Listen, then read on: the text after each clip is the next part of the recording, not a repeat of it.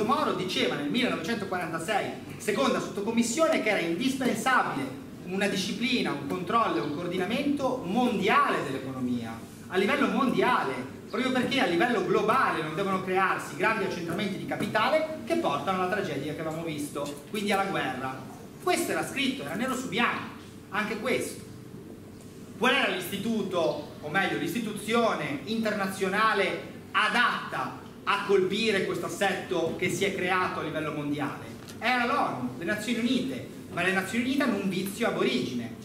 Le cinque potenze vincitrici della seconda guerra mondiale hanno mantenuto il diritto di veto. Se cinque paesi hanno il diritto di veto sul resto della terra, non esiste democrazia.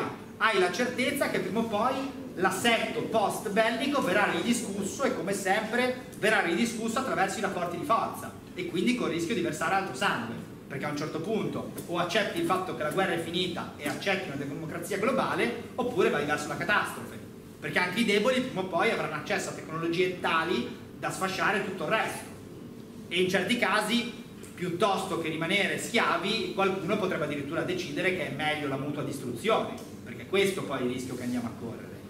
Tra l'altro, qui torniamo a una valutazione, una considerazione di diritto costituzionale, se noi prendiamo l'articolo 11 della Costituzione, abbiamo un dato letterale chiarissimo, oggi violentato dai trattati europei, ma comunque che la Repubblica acconsente alle limitazioni di sovranità, ma solo in condizioni di reciprocità e ai fini di pace e giustizia. L'ONU, con cinque stati che hanno il diritto di veto, di nuovo non serve il principe del foro, non, non, non ha le condizioni di reciprocità, perché l'Italia non pesa quanto gli Stati Uniti d'America o la Russia, è evidente. Quindi è chiaro che una limitazione, una compressione della nostra sovranità sulla base dell'ONU non è valida, proprio per questo aspetto. E tra l'altro l'articolo 11, vabbè, questo ricordiamolo, parla di limitazioni che non sono cessioni. Limitare la sovranità significa contenere un mio potere d'imperio che però resta mio. Faccio un esempio se io faccio un trattato con la Francia dove dico che limito le mie emissioni inquinanti, io ho ancora il controllo della mia politica industriale, semplicemente mi adeguo affinché degli effetti dell'esercizio della mia sovranità non vadano fuori confine, creando una situazione spiacevole. Ma questa non è una cessione, perché la politica industriale me la faccio io. Se invece decidessi, in base a un comune trattato con la Francia, per ridurre le emissioni inquinanti, che la mia politica industriale al fine di raggiungere l'obiettivo del trattato me lo decide qualcuno a Francoforte, e beh, lì farai una cessione, perché perdo completamente un potere di imperio. E allora, se torno ai trattati europei, comprendere che nessuno avrebbe dovuto ratificarli perché è gravemente incostituzionale averlo fatto, basta semplicemente leggere l'articolo 3 TFUE e l'articolo 2, dove c'è scritto che al 3 l'Unione ha competenza esclusiva nelle seguenti materie, due punti e c'è l'elenco, ve l'ho detto, unione doganale, monetaria, economica, eccetera, eccetera. All'articolo 2 c'è scritto, laddove l'unione ha competenza esclusiva, gli stati ciccia, cioè gli stati non possono più legiferare, finito, basta. Questa è chiaramente una cessione, perché io non limito il mio potere di imperio, ma gliel'ho dato. Questo è un dato di fatto che non può essere contestato. Tra l'altro in questi anni ho portato avanti cause civili, sono ancora pendenti, siamo in secondo grado la porterò fino alla Cassazione per cercare di far dichiarare incostituzionali le leggi di ratifica dei trattati con tutte le difficoltà del caso perché poi la Corte è politicizzata e quindi se entrano giudici che sono favorevoli come è stato recentemente al pareggio in bilancio Barberai e Prosperetti eletti grazie ai voti del, partito, del Movimento 5 Stelle tra l'altro quindi giudici che espressamente dicono che il pareggio in bilancio è la regola aurea per cui poco inclini probabilmente a seguire questo ragionamento allora hai poche speranze però intanto l'azione è stata portata avanti. In ambito penale invece addirittura il Tribunale di Cassino, il GIP del Tribunale di Cassino mi ha scritto nero su bianco in un, in un, decreto dove è stata sì archiviata una denuncia contro Laura Boldrini, però mi ha scritto nero su bianco che c'è delle sovranità reati. Però non sono cose che finiscono su, sui media, non vengono dette dai giornali, cerchiamo di far finta di niente. Poi ecco, tornando alla parte economica della Costituzione legata al piano industriale abbiamo l'articolo 43. L'articolo 43 è la norma che ci consente e legittima le nazionalizzazioni. Cioè noi non abbiamo un divieto di nazionalizzare nulla, cioè non c'è nulla che non possiamo nazionalizzare. Noi possiamo nazionalizzare qualsiasi cosa che riguardi l'interesse pubblico, perché lo dice la Costituzione. Certo, se io voglio nazionalizzare l'ILVA, cosa che per inciso andrebbe fatta domani mattina, devo scrivere perché lo faccio. Quindi dovrei semplicemente scrivere che l'acciaio e la produzione d'acciaio è interesse nazionale prioritario, ma è prioritario anche non far morire di cancro le persone che vivono vicino alla fabbrica e quindi spenderò tutto quanto è necessario, farò tutto quanto è necessario per coniugare sia la produzione che la salute. È ovvio che andrò in perdita economica, ma grazie al cielo lo Stato lo può fare, un privato no. Un privato per definizione deve guadagnare. Lo Stato può fare spesa a deficit se recupera la sovranità monetaria, a deficit positivi perché batti moneta, quindi non è che stiamo parlando di andarsi a indebitare sui mercati. Ecco, l'articolo 43 lo consente. L'Italia come è diventata grande? È diventata grande con l'IRI. Ecco, questo doveva essere scritto sul programma giallo-verde se volevamo pensare di salvare l'Italia. Ricostruzione dell'IRI. Cioè un piano industriale nazionale svincolato da logiche utilitaristiche economiche, ma diretto chiaramente a far ripartire il paese, ad avere quell'autonomia essenziale nei settori chiave, che è raggiungibile te tecnologicamente. Non siamo più ai tempi della seconda guerra mondiale dove effettivamente per alcune scelte di autarchia eh, obiettivamente uno pensava, beh invado quella regione perché lì riesco a recuperare magari il carbone o altro. Oggi questo è superato, perché oggi la tecnologia ci consentirebbe di fare passi avanti enormi, soltanto che ci sono ragioni politiche per cui non lo facciamo. Se noi ci liberiamo da queste logiche, lo Stato può farlo il piano industriale, ma il piano industriale, finché tu non inizi a prepararlo, non, non puoi andare avanti. Cioè oggi tutti a venirci a dire che per uscire dall'euro è indispensabile la segretezza. Allora, come possiamo ragionare e dire in maniera seria che noi possiamo uscire dall'euro senza dirlo al popolo. Cioè quando tu devi nazionalizzare tutte le banche, credito, devi nazionalizzare gran parte della produzione industriale del paese, fare provvedimenti mai visti almeno negli ultimi 50 anni in Italia e tu lo vuoi fare senza spiegarlo al popolo in campagna elettorale o prima, è impensabile, non hai il consenso, ti impiccano, non lo puoi fare. Questo l'aveva persino detto Borghi a Bruxelles, poi si è dimenticato anche di questo. Cioè la segretezza va cassata, è impossibile. È ovvio che avrai delle turbulenze, ma va cassata, non lo puoi fare. Quando Savona scrisse il famoso piano B nella parte economica aveva inserito la segretezza. Io allora agli amici di scenari economici dissi ma come fai a fare un'azione segreta? Che devi fare il piano industriale? Piano industriale non lo fai senza spiegarlo alla gente, è impensabile.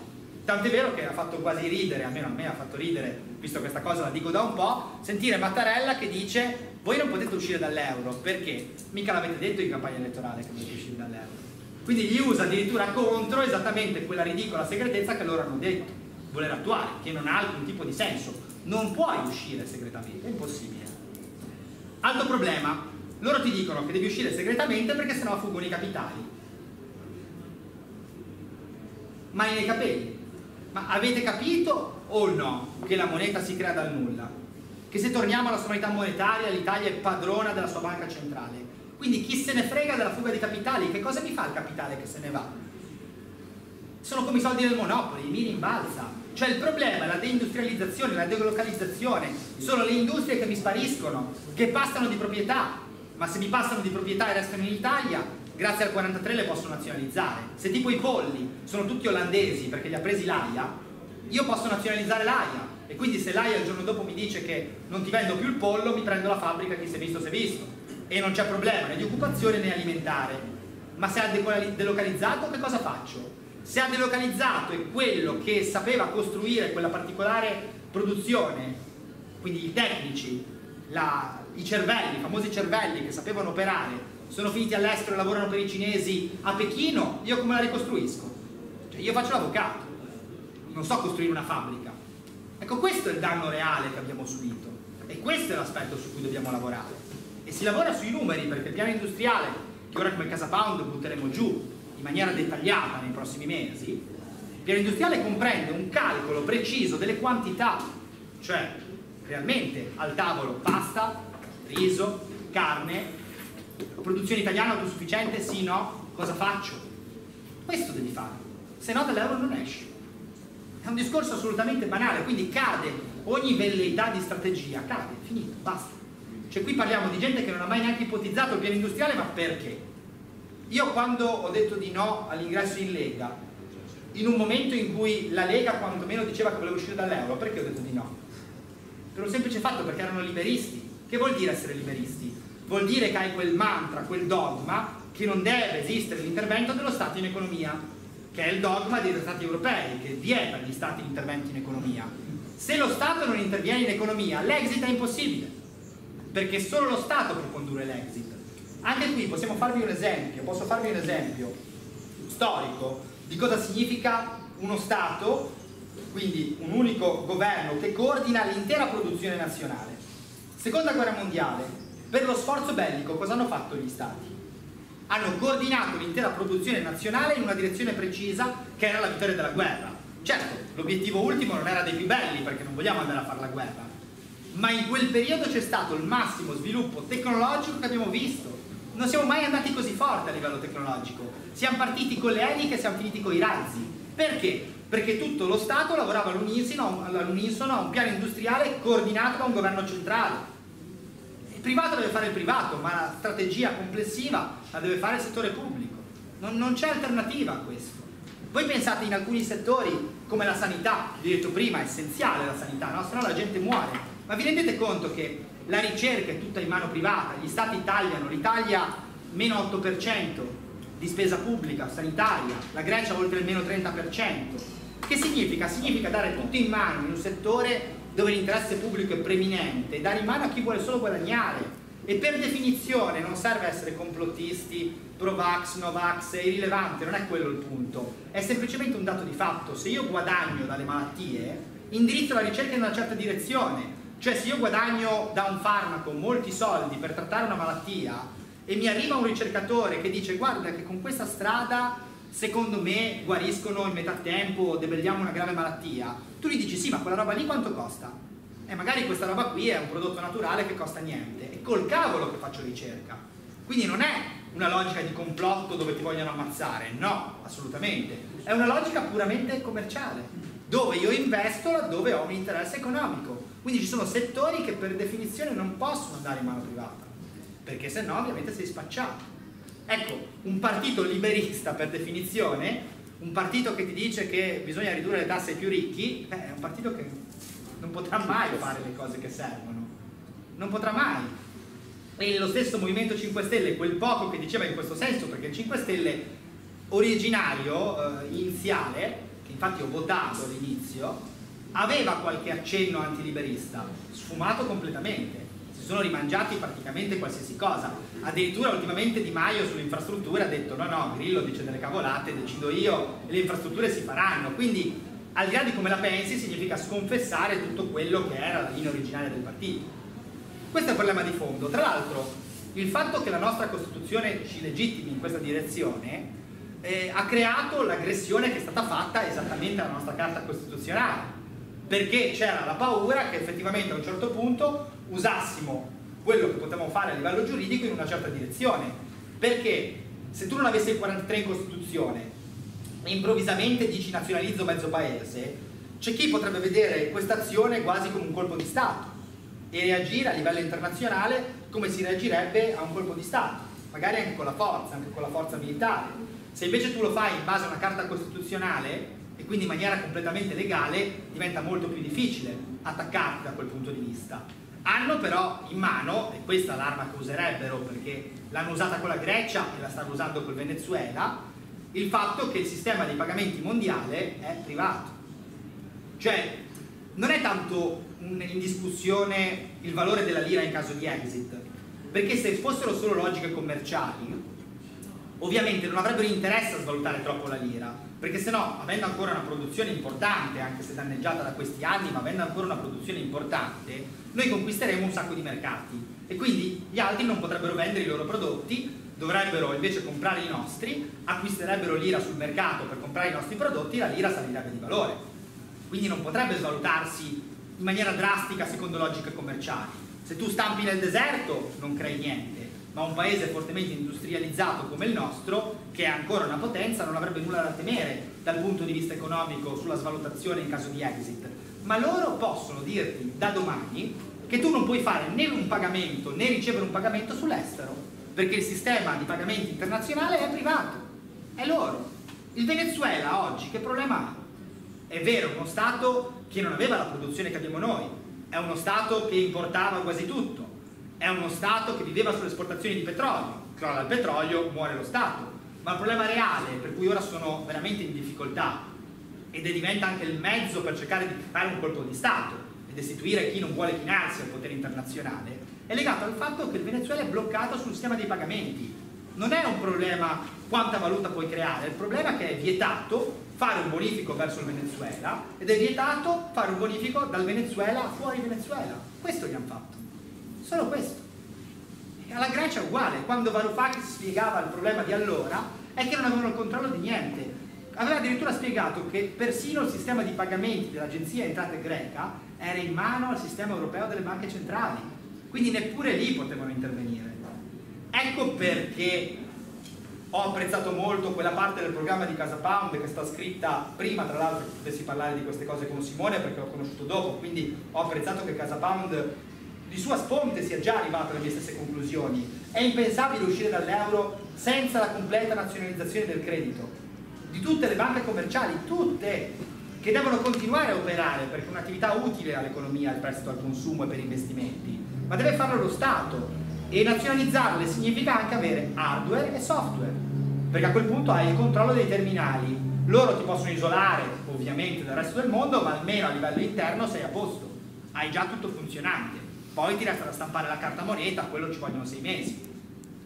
Motivo per cui giudicavo demenziale anche l'idea dei mini bot perché se tu preparassi i mini bot con l'ottica di lasciare l'euro Bruxelles ti spara dopo un secondo. Sia perché nei trattati tutta la politica monetaria degli stati aderenti all'euro è di competenza UE, quindi hanno subito gli argomenti giuridici per fermarti, sia perché soprattutto ti possono, prima che tu hai stampato la prima camionata di mini bot, ti possono immediatamente sbloccare l'acquisto di titoli di Stato e tu non hai nemmeno i soldi per pagare le pensioni e gli stipendi a fine mese.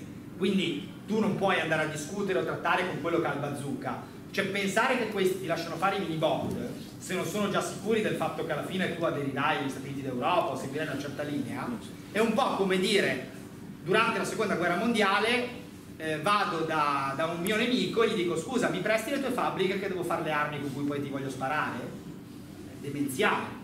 E l'avevano passata come colpo di genio. Eh, sono cose che ti, insomma, se divento volgare, allora ti fanno veramente cadere le cosiddette, perché non ha alcun senso soltanto ipotizzare un discorso di questo tipo. Quindi l'exit è necessariamente un piano industriale e non c'è altro. Poi ovviamente abbiamo, come dicevo prima, l'articolo 47 che ce lo impone anche lì, perché se la Repubblica deve disciplinare, coordinare e controllare il credito, devo riprendere il controllo del credito e non farmi controllare dal credito. Poi, dopo lascio un po' di spazio magari a qualche domanda, visto che già un po' che parlo, però voglio chiudere leggendovi un passo di Keynes, perché magari eh, chi ascolta dice, bah, hai una visione economica che insomma non è eh, attuale ai nostri tempi. Il problema è che sono i nostri tempi a essere sbagliati ed è quello infatti che dobbiamo cambiare, perché il padre della macroeconomia diceva esattamente quello che dico io oggi, né più né meno, quindi a dimostrazione che l'economia è solo questa. Questo è il brano è Autarchia economica, un, eh, un testo del 1929. Il secolo XIX aveva esagerato sino alla stravaganza quel criterio che si può chiamare brevemente dei risultati finanziari, quale segno dell'opportunità di un'azione qualsiasi di iniziativa privata o collettiva, cioè faccio attività se mi rende in sostanza. Tutta la condotta della vita era stata ridotta a una specie di parodia dell'incubo di un contabile. Invece di usare le loro moltiplicate riserve materiali e tecniche per costruire la città delle meraviglie, gli uomini dell'Ottocento costruirono dei sobborghi di catapecchie ed erano d'opinione che fosse giusto e opportuno costruire catapecchie perché le catapecchie, alla prova dell'iniziativa privata, rendevano.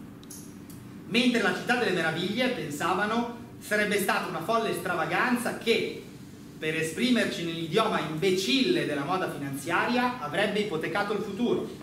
Sebbene non si riesca a vedere a meno che non si abbia la mente obnubilata da false analogie tratte da un'inapplicabile contabilità, come la costruzione oggi di opere grandiose e magnifiche possa impoverire il futuro. D'altronde non mi risulta che il debito pubblico italiano dipenda dal Colosseo o dall'acquedotto romano, no? Quindi le opere del passato non impoveriscono il futuro. Questo Keynes lo scriveva. Ancora oggi io spendo il mio tempo, in parte vanamente, ma in parte anche lo devo ammettere con qualche successo, a convincere i miei compatrioti che la nazione nel suo insieme sarebbe più ricca se gli uomini e le macchine disoccupate fossero adoperate per costruire le case di cui si ha tanto bisogno, piuttosto che non essi siano mantenuti nell'ozio. Ecco, viviamo sopra le nostre possibilità, ci dicono. È vero, è vero, ma non per la spesa pubblica, perché teniamo mezzo paese disoccupato. Persone che potrebbero lavorare per sistemare le tante cose che non vanno nel mondo reale vengono lasciate inoperose. Questo è vivere sopra le nostre possibilità. Riprendo il segno, non perso.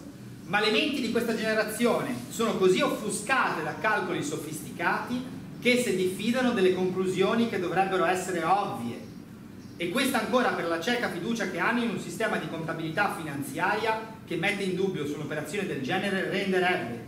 Noi dobbiamo restare poveri perché essere ricchi non rende.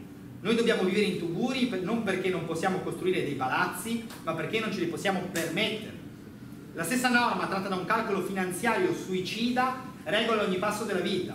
Noi distruggiamo le bellezze della campagna perché gli splendori della natura, accessibili a tutti, non hanno valore economico. Noi siamo capaci di chiudere la porta in faccia al sole e alle stelle perché non pagano dividendo.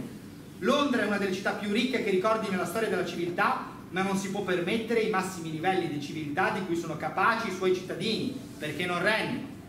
Se oggi avessi il potere, mi metterei decisamente a dotare le nostre capitali di tutte le raffinatezze dell'arte e della civiltà, ognuna la più alta e perfetta in qualità, nella persuasione che potrei permettermi tutto ciò che potessi creare. Questo è il punto. Noi possiamo permetterci tutto ciò che siamo capaci di creare Sarebbe bello e tutt'altro che folle in un programma nazionale che prevede il ritorno dello Stato in economia dire che noi, ad esempio, in 15 anni vogliamo colonizzare Marte. Ma perché no? Perché cosa hanno fatto prima? Noi dobbiamo sognare e operare verso il sogno, non accettare la logica dell'inutile contabile e quindi dire, eh, figuriamo, non possiamo spendere i soldi per quello. Se abbiamo forza da lavoro che può occuparsi di questo, perché non dovrebbe farlo? Non abbiamo limiti reali e questo darebbe una spinta, ho fatto l'esempio di Marte che è un po' elevato, ma possiamo creare qualsiasi tipo di esempio anche più basso, che potrebbe essere fatto e diventare il motore per una certa azione collettiva, che deve essere di sviluppo e di progresso, anche perché, insomma, eh, se pensiamo di venire al mondo per guadagnare, consumare e crepare, forse abbiamo veramente sbagliato tutto, tanto vale buttarsi dalla finestra subito. Ne abbiamo senso nella logica di un progresso collettivo che andiamo a fare come genere umano stesso. Quindi la logica di inutile contabile è veramente uno spreco della nostra vita. E nella fiducia che il denaro così speso non solo sarebbe preferibile a ogni sussidio di disoccupazione, dice Keynes, cioè che è meglio spendere il denaro per questo piuttosto che dargli ai disoccupati, che vogliamo tenere noi disoccupati, perché questo è il punto, no? Non è che Keynes non voleva aiutare i disoccupati involontari, cosa già prevista nella nostra Costituzione, dice semplicemente che non c'è bisogno che restino disoccupati, se sono in condizioni di lavorare possono lavorare. Ma renderebbe appunto i sussidi di disoccupazione superflui. Con quello che abbiamo speso in Inghilterra dalla guerra in poi, in sussidi di disoccupazione avremmo potuto fare delle nostre città i maggiori monumenti dell'opera dell'uomo. 1929.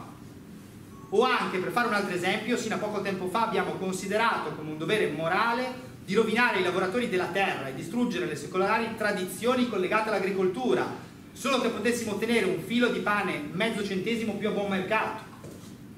Non c'era più niente che non fosse nostro dovere sacrificare a questo idolo, perché noi fiduciosamente credevamo che l'adorazione di questi mostri avrebbe vinto i mali della povertà e condotto la prossima generazione sicuramente e comodamente in sella agli interessi intrecciati verso la pace economica.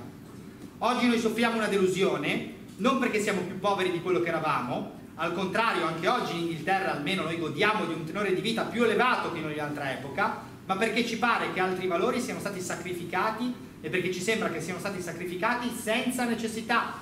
I sacrifici non servono, l'austerità non serve. Infatti il nostro sistema economico non ci permette davvero di sfruttare al massimo le possibili ricchezze che l'economia ci offre dai, grazie ai progressi della tecnica. Resta anzi ben lontano da questo ideale e ci fa sentire come se avessimo potuto benissimo usare tutto il margine disponibile in tanti altri modi più soddisfacenti.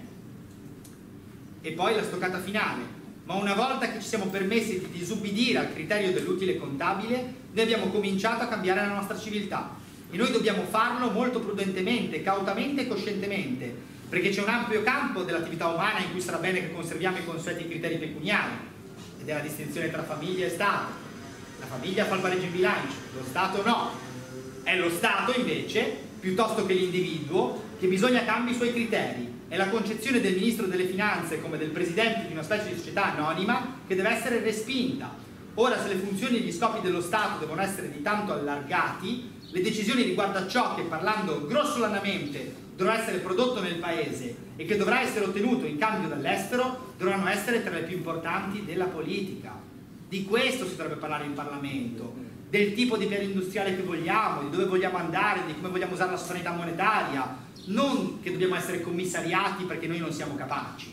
Questa era una scusa che serviva solo a loro, perché le elite con la sovranità monetaria ci controllano e sono quattro stronzi, perché in definitiva ormai sono poche famiglie a cui abbiamo delegato il 99% della ricchezza mondiale e il controllo del mondo, famiglie che però ovviamente finanziano i vari partiti. Ecco, e noi viviamo in questo incubo perché siamo degli ignoranti. Questo è il problema di fondo. Vi ringrazio.